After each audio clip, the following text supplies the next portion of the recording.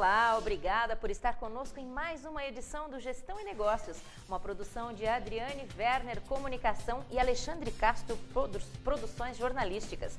Nos últimos programas, nós falamos bastante sobre as técnicas do empreendedorismo, o que é preciso levar em conta para abrir uma empresa e fazer com que ela prospere, e como buscar recursos nas áreas governamentais e também particulares. Enfim, temos abordado muitas teorias. Pois hoje nós vamos falar sobre prática. O nosso convidado é um empreendedor bem-sucedido que vai nos contar como surgem as ideias, como enfrentar os desafios, como manter a perseverança, como formar uma boa equipe e sempre deixá-la motivada. E tudo isso com exemplos da prática do dia a dia da empresa. O Gestão em Negócios tem a satisfação de receber hoje o criador, sócio e diretor comercial da rede Magic.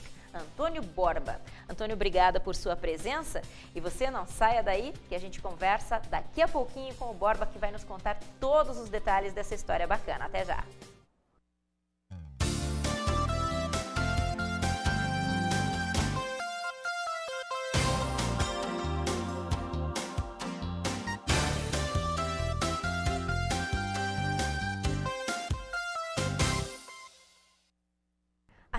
Magic é um conglomerado de três empresas. A Magic Web Design, que desenvolve soluções em websites, softwares e estratégias de marketing online. A Magic Hologram, que produz selos de alta segurança para convites e eventos promocionais. E a Vendaajato.com, uma loja de vendas online. O grupo nasceu em Curitiba há 15 anos e hoje atua em todo o Brasil, atendendo grandes empresas, como por exemplo McDonald's, Unilever, Sadia, Goodyear, Kraft, Dr. Oetker, Motorola, GVT, Spypa, Coca-Cola, O Boticário, Renault e Nissan.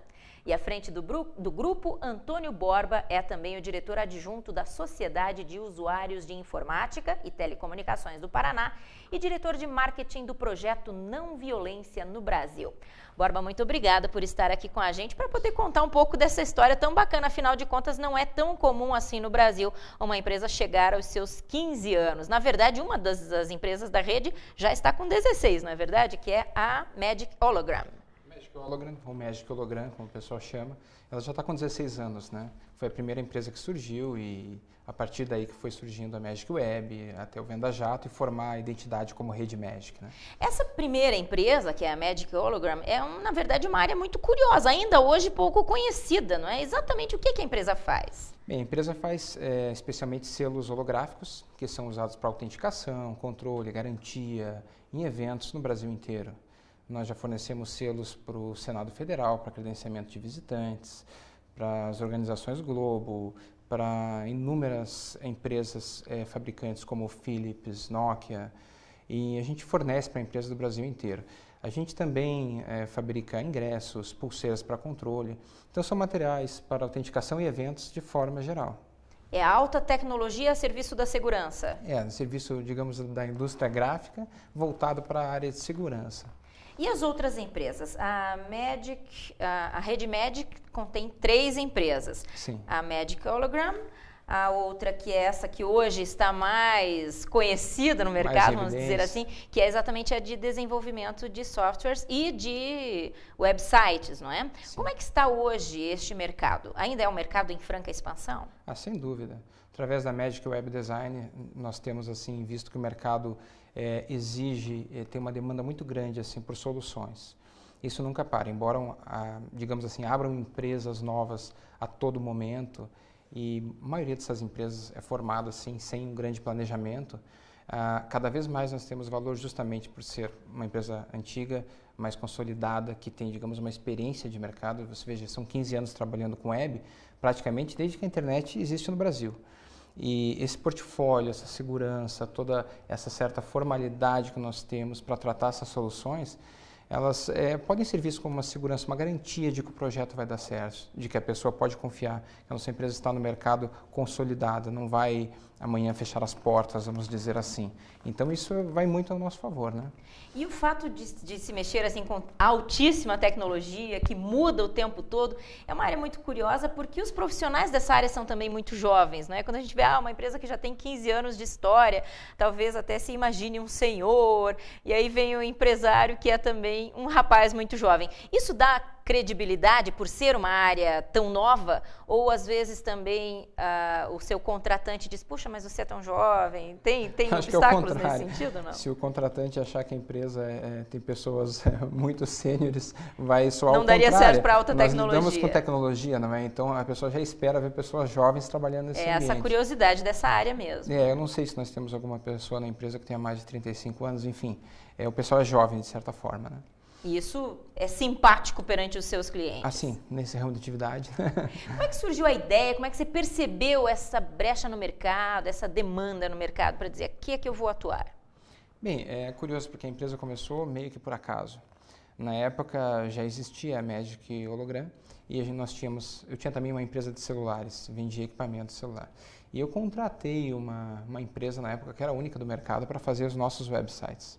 Só que os sites demoraram, demoraram tanto tempo para serem feitos e quando foram apresentados havia uma série de erros que eu falei, não, não é possível, eu preciso desses sites no ar. E eu eh, decidi arregaçar as mangas.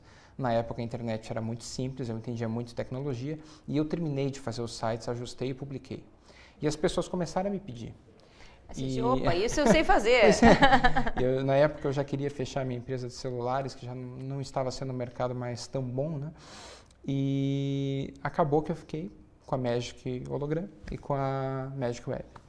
E uh, aí surgiu esse negócio de internet. E a empresa foi crescendo, eu precisei contratar designers e maior estrutura, porque basicamente eu fundei a empresa sozinho fazendo sites. Então nasceu, na verdade, uma necessidade não atendida a qual eu me organizei para me atender e comecei a atender os outros. E depois é que você percebeu que havia essa oportunidade no mercado? Sim, na época era muito novo, não existia nem tanto o conceito de uma empresa de web design. Esse conceito não era nem conhecido. A profissão web designer ela não existia na época. A internet estava no Brasil há um ano. Você se considera uma espécie de desbravador deste mercado? Eu não diria que eu fui o primeiro, mas eu posso dizer seguramente que a nossa empresa é a que tem mais tempo de atuação aqui em Curitiba, porque essa outra empresa que existia, ela acabou fechando, né? E nós ficamos como sendo a empresa mais antiga em atuação nesse mercado, aqui, pelo menos em Curitiba ou no Paraná. Então, de certa forma, quase isso. Né? A gente sempre fala aqui da importância, por um lado, de uma formação técnica do, do, empreendedor, por exemplo, vai se formar em odontologia, muito provavelmente vai ser um empresário. E também do desenvolvimento, de uma capacitação, de um conhecimento na área de administração. Como é que foi a sua formação técnica e também administrativa ou para a administração nesse sentido, Borba? Bem, é, eu fui para a área de engenharia quando optei pelo meu curso superior, mas na verdade, a prática foi quem me ensinou tudo. Porque o que eu tenho a impressão que na área de administração, é, as lições que você aprende na faculdade, elas nem sempre refletem na realidade, principalmente num país como o Brasil, que muda muito. É na prática que você aprende, você vê os percalços, etc. E no início da, das empresas, é, eu tinha até uma sócia na Magic Hologram que era administradora, mas na verdade quem fazia a administração da empresa era eu. Então, a vivência, a prática é o que me mostrou esse caminho. Então, o que acontece hoje? É, eu acho que a maior característica do empreendedor tem que ser a capacidade, primeiro, muita vontade de empreender, de além de batalhar, de querer trilhar esse caminho que não é fácil. Segundo, ter uma capacidade de percepção muito grande. Você perceber o que acontece dentro da sua empresa, com a sua equipe, perceber o que acontece com o mercado, saber uh, o que o cliente espera de você e perceber se você está conseguindo atender. Então, eu diria que hoje, para o empreendedor, talvez uma, um curso de psicologia seja muito útil se você souber aplicar isso aos negócios. E na é. administração da sua empresa, lá desde o início, você enfrentou dificuldades? Conta um pouco dessa história para a gente. Teve algum momento em que você disse, puxa vida, não vou conseguir sobreviver nesse mercado tão competitivo? Ah, sem dúvida. É, dificuldades vêm principalmente porque você trabalhar com tecnologia e fazer tudo legalizado, porque existe um amplo mercado informal, não é? Então, a nossa opção sempre foi por ter softwares legalizados, por registrar colaboradores em CLT. E você pode achar que isso é uma prática normal, mas muitas vezes nessas áreas é, há muita informalidade. Então, isso agrega um custo. E, e, você acaba tendo uma competição desleal. Então, eu diria, essa é uma das situações na qual você pensa, puxa, com todos esses custos, não é fácil fechar o, o mês, né? Você tendo uma folha de profissionais bem remunerados, é, profissionais caros na sua empresa. E o mercado, houve uma época que não valorizava muito isso. Principalmente quando você vê muitas empresas novas entrando e cobrando qualquer coisa para montar um projeto online, você muitas vezes olha e vê, poxa, às vezes o cliente não tem essa valorização. Aí aconteceu uma outra situação. Nós começamos a investir em grandes clientes no mercado de São Paulo. E começamos a ver que, para o nosso ramo, na excelência que estávamos, o mercado viu uma demanda grande. Ou seja, com inúmeras empresas que existem em São Paulo, conseguimos conquistar grandes clientes. Pois é, e como é competir com esses grandes feras, como a gente até comentava antes de começar o programa, no centro nervoso do país, de repente uma empresa de Curitiba chega lá e consegue fazer frente a essas grandes empresas? Pois é, justamente eu percebia que nós tínhamos um profissionalismo muito grande, um diferencial muito grande. Eu achava que nós deveríamos estar atuando numa outra esfera. E foi o que aconteceu. Começamos a atender grandes clientes como Sadia, Goodyear, Unilever, várias empresas de porte. E isso nos trouxe um respaldo maior até perante o, aqui o Paraná, os empresários, porque muitas vezes a pessoa acha mesmo que santo de casa não faz milagre. Uhum. E eu já visitei grandes empresas aqui que têm agências em São Paulo e não contratam aqui porque acham que lá o pessoal faz melhor. E muitas vezes o trabalho caiu até nas nossas mãos, porque as agências de São Paulo terceirizavam conosco e a gente acabava prestando o trabalho. Então é curioso como o mercado procede, né? E hoje já a gente não tem que provar nada para ninguém. Hoje a Magic Web é reconhecida. Já é procurada é procurada por clientes. Como é que é o seu processo de prospecção? Você vai atrás desses grandes clientes? Como é a sua aproximação com eles? Sim, existe é, um contato em alguns clientes que a gente considera alvo, mas é em sua minoria, porque 90% dos clientes eles vêm até nós por indicação, é, eles vêm por procurar um trabalho, por ver a nossa assinatura em outro trabalho. Então, nós somos muito procurados, porque há uma demanda muito grande nessa área. Então, existe uma prospecção, sim, mas é uma prospecção pequena em clientes que nós acreditamos que seja um alvo muito certo do nosso trabalho mas de outra forma os clientes vêm até nós, é uma demanda crescente de serviços. Mesmo para a conquista desses grandes clientes ali que nós elencamos no começo do programa, é sempre ou quase sempre por indicação? É sim, mas aí é uma prospecção, mas já mais voltada, que vem de uma indicação, que vem de um conhecimento, que é uma coisa já muito certa e vem também de um relacionamento porque é muito difícil você fechar negócio com grandes empresas sem ter uma boa dose de relacionamento ao redor de você estar frequentando locais, você estar presente, você fazer várias reuniões, não é uma coisa muitas vezes tão simples, né? E esse relacionamento com esses clientes e parceiros comerciais acaba levando a isso.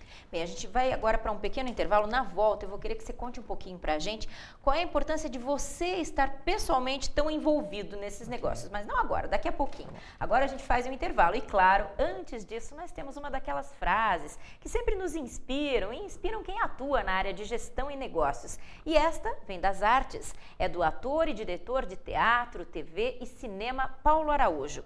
Ele ensina o seguinte: aprenda a aprender. Não existe nada tão perfeito que não possa ser melhorado. Nosso intervalo é rapidinho, até já.